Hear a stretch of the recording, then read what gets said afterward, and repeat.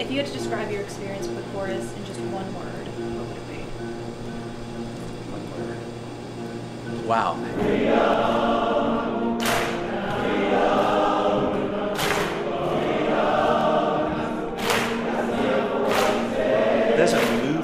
Um, that New York City Gay Men's Chorus helped found in the early 80s. San Francisco and New York City and a handful of other choruses were the first ones. And they began the movement, which is now over 400 choirs in the US and hundreds of choirs overseas as well. We really can say with some justification that we change lives.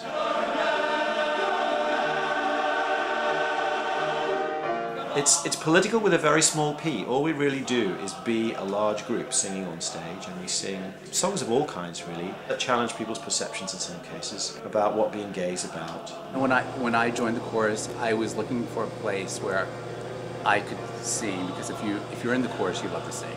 For me, it was really important as I got older to be with a group of gay men that didn't involve a bar or anything or a club. It's a group of men getting together, all walks of life, all ages. It really doesn't exist too many other places, I think, in, in the gay community.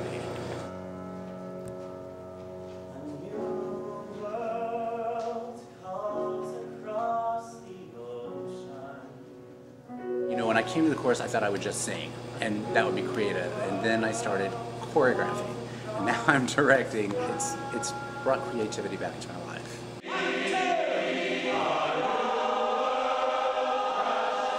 I get hundreds of emails um, from people over the years saying, you know, thank you very much for singing. I now understand more what my teenage son is going through. What we're into is connecting with people, using music to connect us to them in a way that, in a way, makes gay men seem a little less uh, frightening and teaches them uh, a little bit about uh, gay men's identity and the LGBT community in general.